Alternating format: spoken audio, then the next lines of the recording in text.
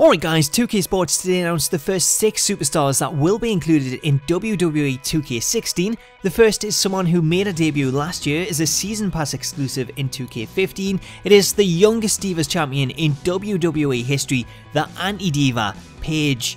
The second superstar needs no introduction, it is fan favourite Daniel Bryan. But when it comes to the third superstar, I'm afraid I've got some bad news. It's not King Barrett, it's Bad News Barrett. Following Barrett, we have the current WWE World Heavyweight Champion Seth Rollins, and right behind him is the man that he faced at Money in the Bank, the lunatic fringe, Dean Ambrose. Finally, I'm delighted to say I've got some good news because the final superstar announced today is one of the hottest stars in NXT right now. It is the Demon, Finn Balor.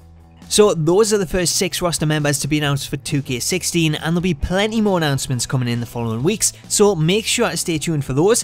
In the meantime though, let me know what you think of these first 6 roster members in the comments and who you want to see announced next, especially when it comes to NXT stars as it looks like NXT will be getting a huge presence in this year's game and I can't wait to see Balor's demon entrance, that should be nothing short of amazing.